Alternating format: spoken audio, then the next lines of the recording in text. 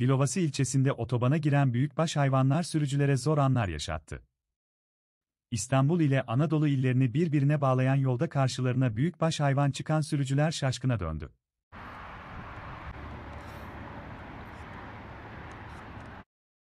İlginç olay, Tem Otoyolu Dilovası ilçesinde meydana geldi.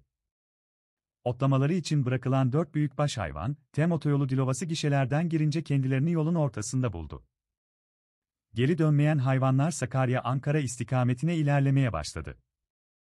Yolun ortasında araçlara aldırış etmeden ilerleyen büyükbaş hayvanlar, sürücülerin önünde de aniden çıktı. İnekleri fark eden sürücüler kontrollü şekilde ilerlerken gözlerine inanamadı. Yolun ortasında duran inekler sebebiyle bazı araçlar ilerleyemedi.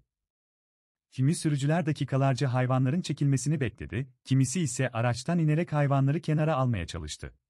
Tem otoyolu girişinde inekleri gördük. Otobanda şu anda inekler gidiyor. Normalde dağda, bayırda, ovada görmeye alışık olduğumuz inekler Tem otoyolunda. Tabii sürücüler için de tehlike oluşturuyor.